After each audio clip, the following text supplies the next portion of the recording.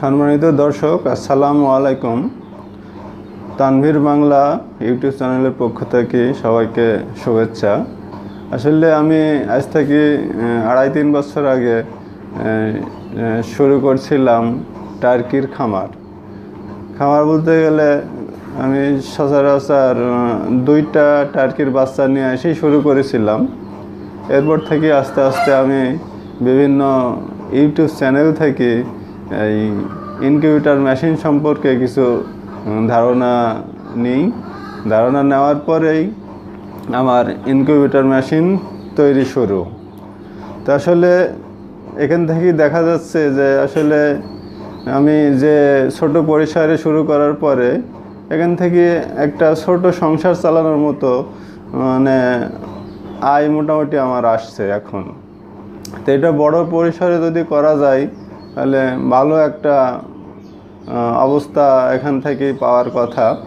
তো সেই ক্ষেত্রে আমি বেকার যারা যুবক, শিক্ষিত যুবক যারা বাড়িতে বসে আছে, তাদের উদ্দেশ্যে বলতে চাই তারা যদি আসলে এটা শুরু করে সেই ক্ষেত্রে মোটামুটি অনেক ভালো একটা দিক।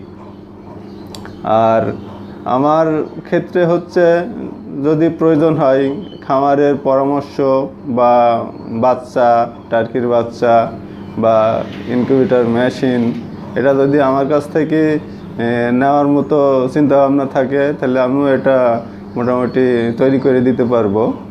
আর এর মধ্যেই অল্প কিছুদিন আগে হয়তো বা পাঁচ সাত দিন আগেই আড়ানির থেকে এক ভাই আসছিল, ওনার নাম হচ্ছে রাজীব। উনি রাজশাহী বিশ্ববিদ্যালয় থেকে লেখাপড়া শেষ করার পরে ওনার আসলে উনি বড় একটা জায়গায় থেকে এসে ও ছোট একটা কাজ শুরু করছে। সে মনে করেন নাই যে আসলে কাজটা ছোট। ওনাকে একটি ওই দুইশো ডিমের ক্যাপাসিটি একটি ইনকিউবেটার মেশিন দিয়েছি। তো এইভাবে আপনারাও শুরু করতে পারেন। যারা আসলে বেকার বসে আছেন, তারা যদি শুরু করেন, এখন দেখা যাচ্ছে যে এখান থেকে কিছু আয় আসলো, কিছু শিক্ষা অর্জন হলো এবং মোটামুটি বেকারত্বটাও দূর হলো। ইনকিউবেটর তৈরির যে উদ্যোক্তা নুরুল ইসলাম তিনি এইমাত্র একজন ভাইয়ের কাছে ইনকিউবেটরটি হস্তান্তরিত করছেন। ভাইয়া এসেছেন তার নিজ উদ্যোগে ছোট ছোট পরিসরে ইনকিউবেটর দিয়ে শুরু করতে চাচ্ছেন তার যে ডিম ফুটানোর কার্যক্রম। আমরা একটু কথা বলি। ভাই আপনার বাসা কোথায়? আমার বাসা আর আপনি পেশায় কি কাজ করেন? আমি পেশায় এখন কিছু করি না আচ্ছা। রাজশাহী বিশ্ববিদ্যালয় থেকে ইকোনমিক্সে মাস্টার্স করছি আর কি।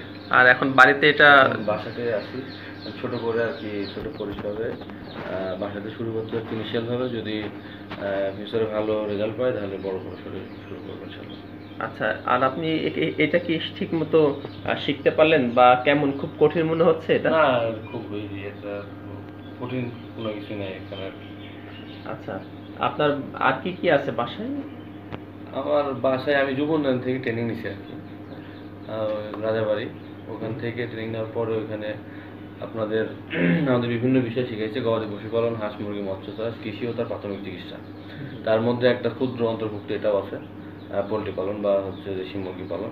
তো ওখান থেকে প্রশিক্ষণ নেওয়ার পরে চিন্তা করছিলাম যে বাসায় যাই কিছু শুরু করব। শুরু করা দেখবেন যে অনেক সময় কি আমাদের পরিবেশের চারপাশে যখন আমার ফ্যামিলি মানে আমার বংশের লোকজন আমি এর আগে একটা ফার্ম করতে চাইছিলাম, তো তারা আমাকে উৎসাহিত করেনি। বলতে চাকরি করতে হবে। বাট আপনি চাকরি করে কত টাকা লাভবান হবেন আমি জানি না। প্রতি মাসে হয়তো স্যালারি দিবে তিরিশ, পঁয়ত্রিশ, চল্লিশ হাজার। কিন্তু এখান থেকে অনেক টাকা ইনকাম করা সম্ভব। সেটা যদি আপনার জ্ঞানটা ভালো থাকে, জানার স্পৃহাটা ভালো থাকে বা পরিসীমাটা ভালো থাকে, তাহলে অবশ্যই এখান থেকে বেটার কিছু করা সম্ভব। কীভাবে লিখতে হবে? কোনো সংকেত? সংকেত আসলে যেহেতু ডিমটা উল্টানো লাগবে, দুই পাশে একটা চিহ্ন করতে হবে। যেমন চিহ্ন বলতে হলে আজকে একুশ তারিখ, তাই না? এক সাইডে হয়তো আমি তারিখ দিলাম আর এক সাইডে যে কোনো একটা চিহ্ন করলাম। এইভাবে প্রতিটা ডিমেই চিহ্ন করার পরে হয়তো এইভাবে ডিমটা রাখা হলো। তিন ঘণ্টা পরে এই ডিমটা জাস্ট এইভাবে। এই হাত দিয়ে করতে হবে ওইভাবে করলেও হবে কিন্তু হাত দিয়ে করলে পরে আপনার শিওর হলেন। একবারে হান্ড্রেড পার্সেন্ট সমান সমানেই সে উল্টানো হচ্ছে। আর এইভাবে দিলে পরে হয়তো বা একটা কম বেশি। হতে পারে। ওইভাবে দিলেও হয় যেহেতু মুরগি সাধারণত তো আর দেখি দেয় না। ও ঠোঁট দিয়ে করে করে। কিন্তু ও ঘন ঘন করে মুরগি অনেক ঘন ঘন করে। মাঝে মাঝে লড়াই মাঝে মাঝে লড়াই। আর আপনার ইনকিউবেটরে একটু ইনকিউবেটার আসলে এটা সর্বনিম্ন ছোট সাইজ। এটাতে হচ্ছে দেশি মুরগি দুইশো বা দুইশো আপ এরকম ধরবে, আর হাঁস, টার্কি এগুলা একশো ষাট, সত্তর এরকম ধরবে। আর এর উপরে যেগুলো আছে, সেগুলো আসলে অটোমেটিক দুশোর উপরে যেটা আছে সেটা পাঁচশো, তারপরে সাতশো, এক হাজার, বারোশো, দুই হাজার যে যেভাবে নেয়, সেভাবে। দেওয়া যায়। আসলে খুব অসাধারণ লাগছে মানে উনি এভাবে একটা সেবামূলক কাজ আর কি তরুণদের আর কি উৎসাহিত করা এবং বেকার ছেলেমেয়েদের কর্মসংস্থানের সৃষ্টি করা। এখানে উনি, দোয়া করে উনি এভাবে কাজ করুক এবং তরুণদের বাংলাদেশে যারা আছে, আগ্রহী হোক, তাহলে আমাদের দেশের উন্নতি হবে, সমাজের উন্নতি হবে এবং নিজের পরিবারের উন্নতি হবে।